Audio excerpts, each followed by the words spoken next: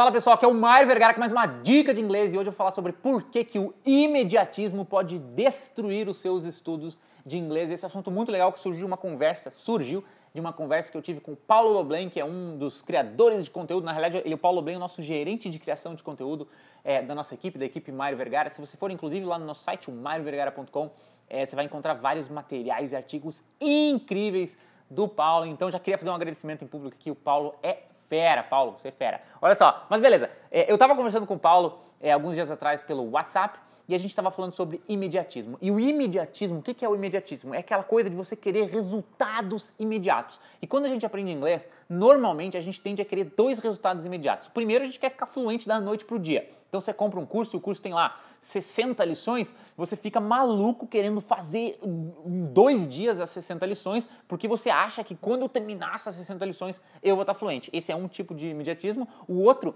é aquele que a gente faz em cada lição, digamos assim, num curso. Então você pega a lição 1 do curso, você fica maluco, você quer fazer aquela lição correndo, você quer terminar logo, porque você quer ir para a lição 2. Você está na lição 1, mas você já está pensando na 2, na 3, na 4, porque você quer ir rápido, pula rápido. E esse tá? Esse imediatismo, essa coisa meio maluca que a gente tem na cabeça, e não pensa que é só só você ou só o fulano de tal que tem. Eu, todo mundo tem, eu tenho, o Paulo bem, né? Tem, você provavelmente talvez tenha, muito, muita gente tem, e a gente tem que lutar contra isso. Por quê? Porque quando você pega, e aí vem a grande sacada desse vídeo, quando você pega uma lição em inglês para estudar, de um curso que você está fazendo, sei lá, ou um texto para estudar, você tem que estudar aquilo com o mínimo de imediatismo possível. Você tem que ter o máximo de paciência e foco possível em cima daquela lição para que você faça o estudo com a maior qualidade possível. Olha só o que eu falei, eu vou falar de novo. Você tem que ter o máximo de paciência e foco em cima daquela lição para que você faça o estudo com o máximo de qualidade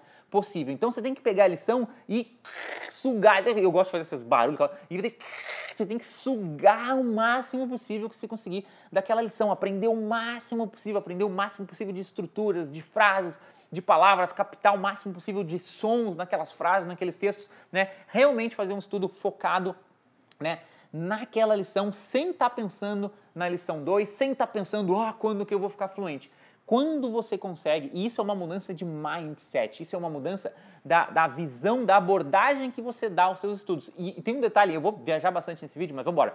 Tem um detalhe, não sei se você sabe, os grandes poliglotas, aqueles caras que, falam, que aprendem, nem vou nem falar que falam várias línguas, aqueles caras que aprendem várias línguas, que cada ano aprende uma língua nova, esses caras, eles não se preocupam eles não estão preocupados com velocidade, eles não estão preocupados com quão, quando eles vão ficar fluentes, eles não estão preocupados com a lição 2, com a lição 3 todo dia eles pegam um determinado material e estudam muito bem aquele material. E aí ele estuda, é naquele dia, foco naquilo lá, acabou, ele se sente super feliz. Próximo dia, o que, que ele faz? Ele pega uma outra lição, foco naquilo lá. E às vezes não é um, às vezes ele fica mais de um dia na mesma lição, tá? Não estou dizendo que é dia após dia, mas você está entendendo? É foco e paciência, lição por lição, material por material, absorvendo o máximo possível, sem essa coisa de ter, de querer resultados imediatos, resultados da noite para o dia. Se você conseguir, se eu consigo sacar isso que eu passei nesse vídeo para você, se você está fazendo um curso de inglês aula de inglês, estudando inglês, tente hoje, se você já estudou hoje, Tente começar amanhã, se você não estudou hoje, comece hoje, mas tente hoje pegar o seu material de hoje e fazer o melhor estudo possível desse material com paciência e foco, sem pensar no amanhã, sem pensar é, na, enquanto você vai ficar fluente. Se você conseguir fazer isso, e aí você tem que fazer isso todo santo dia, isso é o mais difícil. Mas se você conseguir é, tirar esse coelho da cartola, é, entrar no estudo de línguas com esse mindset, pode ter certeza que vai acontecer uma revolução aí no seu aprendizado, beleza? Espero então que vocês tenham gostado da dica meio filosófica, meio dei uma viajada, mas é bem legal esses vídeos quando eu começo a falar assim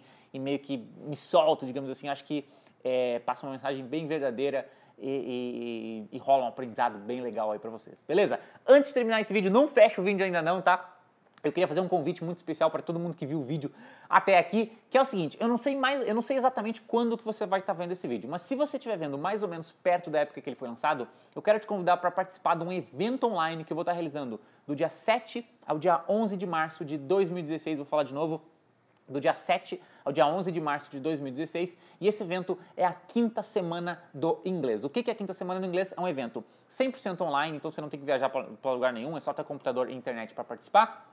100% gratuito, Qualquer pessoa pode participar, é, não precisa pagar nada e é, dura uma semana, por isso que chama Semana do Inglês. E durante a Semana do Inglês eu compartilho com você uma série de vídeos e aulas de inglês ensinando com mais detalhes, indo mais a fundo nos meus métodos e nas minhas técnicas para você aprender inglês de uma forma simples, de uma forma direta, de uma forma, uma forma eficiente, uma forma que dê resultado aí nos seus estudos. É um evento super legal, não é um evento só teórico, então não é só blá blá blá blá, blá de teoria. Tem a parte teórica explicando os métodos, tem a parte prática que é uma aula inteira de inglês comigo e tem a aula, tem um material para você baixar, material em PDF, material em MP3. Então você pode aprender a teoria, aprender a prática e você mesmo colocar em prática e começar a ter resultado nos seus estudos.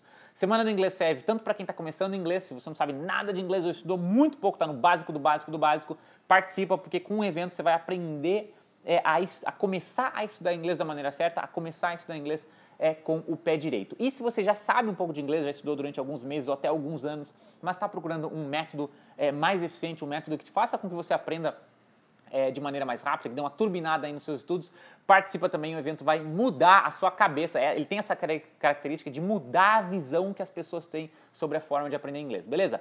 Como você participa? Você deve estar se perguntando aí, Mário, como que eu participo da Semana do Inglês? Muito simples, em algum lugar desse vídeo tem um link de cadastro. Pode estar na descrição aqui em cima, na descrição aqui embaixo, pode estar no próprio vídeo, mas em algum lugar tem um link de cadastro, encontra ele, clica no link, você vai cair numa página de cadastro super simples, está lá escrito Quinta Semana do Inglês, tem um formulário, tem umas informações. Você faz um cadastro rapidão, não demora nem um minuto, eu recomendo também que nesse cadastro você vai ter que colocar o seu e-mail, coloque o seu melhor e-mail, aquele que você abre com mais frequência, que você abre todo dia, porque daí é o seguinte, terminando o cadastro, quando começar o evento, no dia 7 de março de 2016, eu mesmo, Mário Vergara, vou entrar em contato com você, falando que o evento começou, que o primeiro vídeo está no ar, que você pode entrar, você pode aprender, tem uma sessão de comentários lá também, para você interagir. Se você ouvir um gato miando, é o meu gato, ele deve estar em algum lugar por aqui no vídeo, não sei aonde, e às vezes ele começa a miar, mas vamos embora do mesmo jeito, né? Aqui a gente não tende a não editar é, os vídeos. Enfim, acha aqui o link de cadastro, clica lá, cadastra na Semana do Inglês, você vai adorar. Para terminar esse vídeo, se você gostou do vídeo, não deixe também de dar um curtir, um gostei, um compartilhar. As curtidas, gostadas, compartilhadas nos ajudam muito, ajuda muito a divulgar